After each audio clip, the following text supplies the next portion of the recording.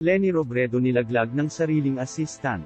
Kumakalat ngayon sa social media ang kaplastikan ni Lenny nang dumalo sa Cavite. Ayon sa mga post mismong sariling assistant ni Lenny ang naglantad ng kanyang totoong ugali. Mapapanood sa video kung saan nakangiti at kinakawayan ni Lenny ang kanyang supporters, subalit makalipas ang ilang sandali, tila naiirita na si Lenny at sinabihan ang kanyang staff na bilis-bilisan. Ito ang buong video. Thank you. Salamat. Salamat po. Salamat. Bilisan natin.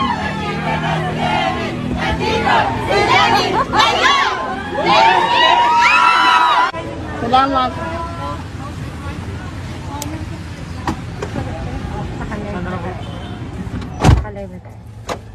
Ay, nasa nasa Dasmariñas, Cavite po kami ngayon. Ah, Thank you. Salamat. Salamat po. Salamat. bilisan natin.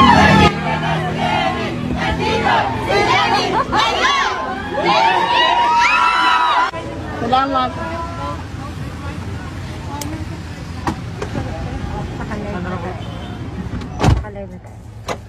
Ay, nasa nasa Dasmariñas, Cavite po kami ngayon. Um. Salamat. Salamat po. Salamat. bilisan natin.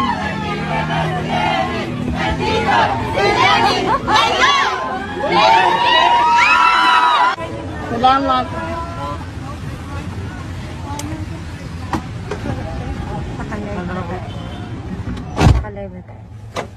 Ay, nasa nasa Dasmariñas, Cavite po kami ngayon. Ah, Thank you. Salamat.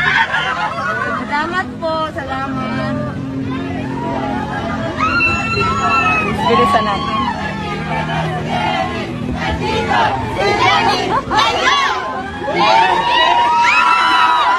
Salamat.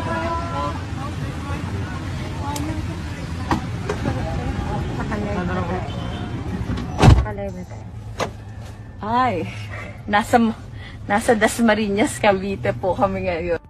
Ito ang ilan sa mga naging reaksyon ng mga netizen. Bilang na bilang ang tao ang luwag ng agwat, pwede dumaan ang C-130. Kawawang mga supporters ni Lenny ginagago na, pinagluloko pa, ano kayang nakikita nila sa peking VP na yan, at kahit ginawa na silang tanganan dyan pa rin.